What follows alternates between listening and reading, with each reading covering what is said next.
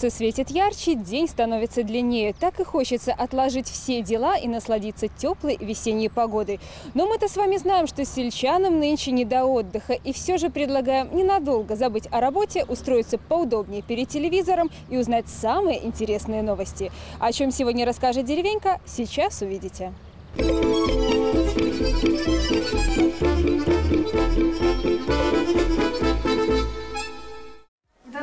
мы закладываем часть корма. Э, Это позволит определить влажность корма, содержание крахмала, э, содержание клетчатки. Чем питаются наши буренки и какое молоко дают? С высокими сельхозтехнологиями знакомят будущие зоотехники. Эта старушечка купила этот крест у кого-то за бутылку самогонки. Позор какой, да, для деревни. Детективные приключения на престольного креста и его счастливое возвращение в Баркалабово. Я в колхозе боевая, боевая, смелая, И на сцене запеваю, и в работе первая. С частушкой по жизни своим задором поделится пивуньи из Бастьянович.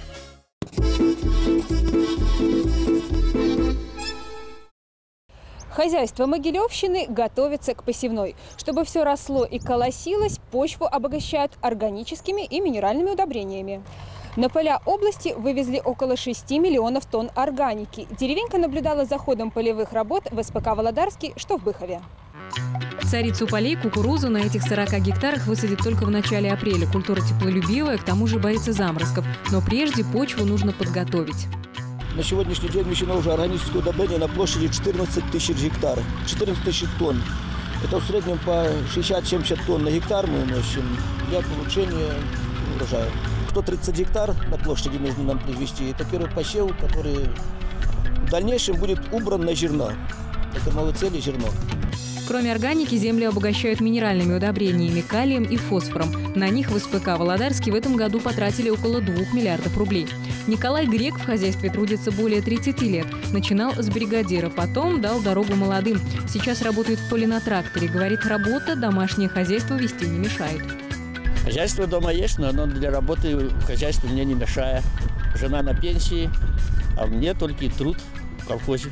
Птица, свинья, Ну а вот выращиваете? картофель выращиваем. Ну, огородина всякая дома. В былые времена в хозяйстве было 50 механизаторов, вспоминает Николай Владимирович. Сейчас только 20. Работы добавилось, но это не мешает бригаде из четырех человек ежедневно перевыполнять план. За день норма выработки их 90 тонн на гектар, 90 тонн внести органических удобрений. Каждый день они переполняют двойную смену. По 200 тонн, 220 тонн они вносят. Ну и как вы их поощряете? Пошляем потом коэффициент 2, умножается и выходит в среднем зарплата за день по 260-270 тысяч в день. Ну, техника новая, топливо ешь, стараемся, горелки не пьем, а работаем и все. Пока механизаторы трудятся в одну смену, но уже на следующей неделе, если погода позволит, в хозяйстве начнут сеять яровую пшеницу, а значит и работы прибавится.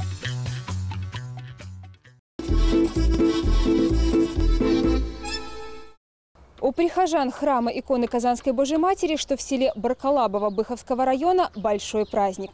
К ним наконец-таки вернулась долгожданная реликвия – на престольный крест. Но прежде чем занять свое место в храме, церковному символу пришлось пройти через ряд испытаний. Подробности детективной истории смотрите в следующем сюжете. Светлана Соколова истинно верующая. Если б не ее усилия, исход этой истории мог бы быть и другим. Про напрестольный крест знает почти все. Деревеньке рассказала, что изготовили его в 1904 году, как раз к открытию храма. Во время революции церковь разгромили и разграбили. Уцелевшие реликвии прихожане разобрали по домам. Напрестольный крест спасла Екатерина Климова. Эта старушечка купила этот крест у кого-то за бутылку самогонки. Позор какой, да, для деревни. Вот. И, значит, когда умерла эта старушка, то дочка, когда вот передали церковь, принесла его в церковь. И э, старостой, на то время я была старостой, и я приняла этот крест в свои руки. Крест требовал серьезной реставрации. За помощью в этом деле Светлана обратилась к бизнесмену, который оказал спонсорскую поддержку в восстановлении храма. Здесь на фотографии видно, вот, что не достает лучиков, что это крест-мощевик был. Здесь вот крепления есть. В кресте были заложены мощи святых. Именно каких святых мы не знаем, потому что это, когда разоряли церковь, все это оттуда уже вытащили. Крест отдали в Минск на реставрацию, но назад он не вернулся. Бизнесмена арестовали, вместе с имуществом следственные органы конфисковали и уже восстановленный крест. Светлана с мужем начала поиски, обратились к местным властям. Благодаря усилиям депутата Татьяны Кананчук и заместителя премьер-министра Беларуси Анатолия Тозика крест нашли и вернули на свое место. Сейчас, когда этот крест нашелся и отреставрирован, это тоже э, своеобразный символ того, что и люди будут восстанавливать самую главную святыню, свою душу.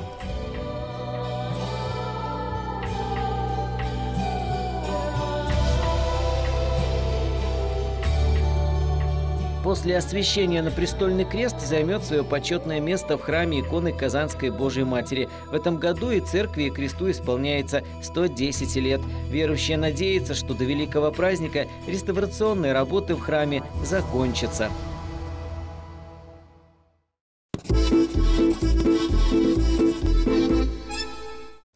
Полна сюрпризов природа, особенно в нынешнем марте. Сперва снегом заметет, а днем позже птичьи трели заведет. Потому и опасаются синоптики делать точный прогноз погоды более чем на три дня. А вот с Луной все гораздо проще. Для вас лунный календарь на целую неделю. –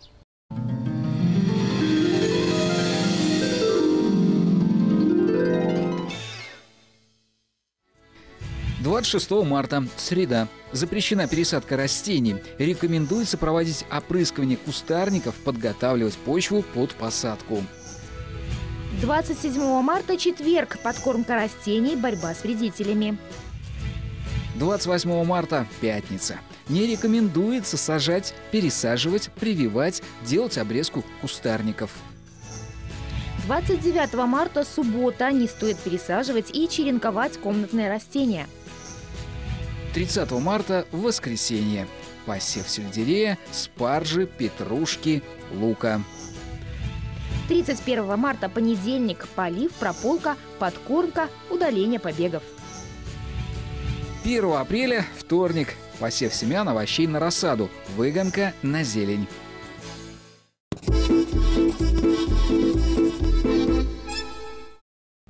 А теперь отправляемся в деревню Антоновка Бобруйского района. Там живет мастерица-рукодельница Галина Луканская. При помощи нитки и иголки Галина Андреевна творит настоящее произведение искусства. Иголка в руках Галины Луканской ловко делает стежок за стежком, а все потому, что Галина Андреевна занимается любимым делом. А это вот салфеточка очередная. Мне тут еще надо одной внучке подарить. Такие вот маки. Пересняла на ткань. Вот уже два лепесточка вышила. Рисунок наносишь, а потом нитки подбираешь уже по тону, по цвету. Где надо светлее тон, где немножко потемнее. Ну и потом так вот создается лепесток. Творить картины при помощи нитки и иголки Галина Андреевна начала еще в детстве. Художественный дар получила в наследство от бабушки. Началось все с вышивки крестиком. Вроде бы просто, но получилось не сразу. Ну, я вот мучилась, мучилась, поставлю крестик, а вот посмотрю, что на изнанке не так получается. Значит, неправильно я поставила крестики. Мучилась, мучилась Галина Андреевна, а потом взяла и вышила более сотни подушек, а заодно и овладела наивысшим мастерством – вышивкой художественной гладью.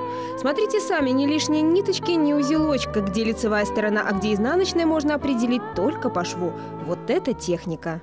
На изнанку вот, посмотрите. Видите? Но оно как получается, как с этой стороны, И да, как, отпечатано. да. изнанки. Вот. Так это прям так, это уже очень сложно, наверное. Да, это очень сложная работа. Видите, розочки как живые. И сколько времени вот уходит Ой. на один цветок или один лепесток? У этого день надо шить. Рисунки мастерица придумывает сама. Если внимательно посмотреть на домашнюю экспозицию работ, увидишь самый настоящий цветник. Розы, сирень, ромашки, анютины глазки – все из собственного полисадника. Вот только маки у Галины Андреевны теперь только на салфетках. Просто выращивала для пирогов. Вот, а потом уже запретили, так я не стала сеять, потому что это запрет. Ну, так приду, вот нарисую, мне понравится мак, какая, как он расцве- распустился. Я нарисую, а потом уже немножко доработаю что-то, и потом на ткань наношу. Слава о рукодельнице из Антоновки разнеслась далеко по свету. Ее работы есть и в Голландии, Эстонии, Польше, Германии, России. А в Бобруйском краеведческом музее организовали целую выставку картин Галины Андреевны. К слову, династия Луканских талантами славится. Рисунки внучки Нины украшали Минский музей имени Горького, а муж Георгий Петрович, которого, к сожалению, нет, сам придумал и расписал уникальный стеклянный потолок. А еще он оставил много картин. Это копия Васильева, оттепель. А он пейзажи любил. Это наверху на втором этаже там мастерская была. Она и теперь есть. Ну, вот туда он праздники, выходные дни он старался, конечно, больше писать. Ну, на природу походил? И Да, он обязательно выходил. И чудник брал с собой. Несмотря на свой возраст, о котором мы деликатно умолчим, Галина Луканская полна сил и творчества. Вот придет лето, в палисаднике новые цветы вырастут. Простора для творчества только прибавится.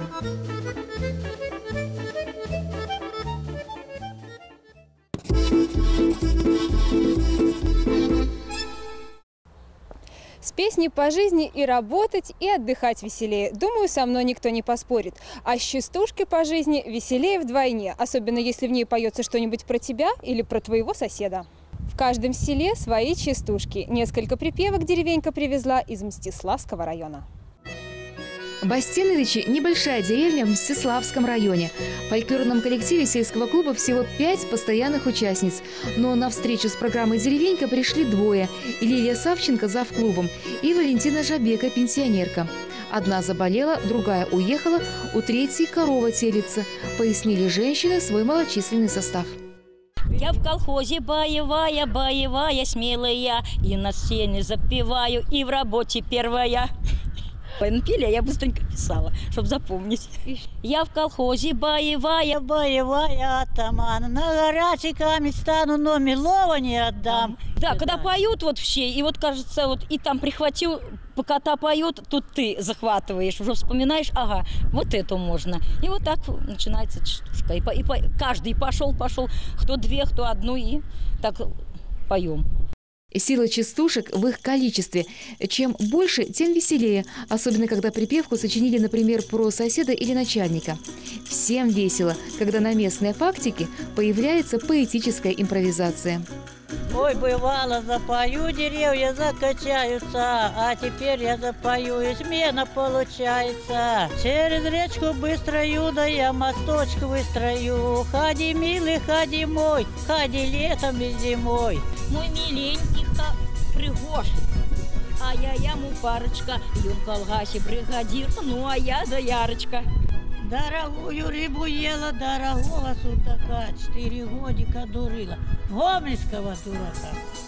Этим частушкам более полувека, рассказывает Валентина Никитишна. Привезла их с Гомельщины. Я сама Гомельская. Гомельская область, город Ветка. А здесь как оказались? Замужем. Ага. Муж был геолог, и там партия стояла у нас их. Ну, я с ним познакомилась. Работала на фабрике, и у нас был хор там. Ну, и был у меня брат двоюродный, он игра- играл на аккордеоне. Мы с- частушки это склали. Все вокруг зазеленело, теплый дождичек прошел. В понедельник ожидала, почему ж ты не пришел? В четверг пятницу, признаться, не пустил меня отец. Будет. Все честно, выразительно и эмоционально. С частушками и время весело проходит, и любая работа спорится.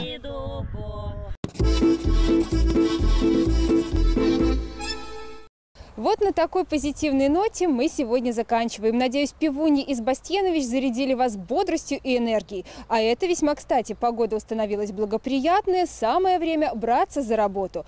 Деревенька желает вам трудовых успехов. Увидимся через неделю.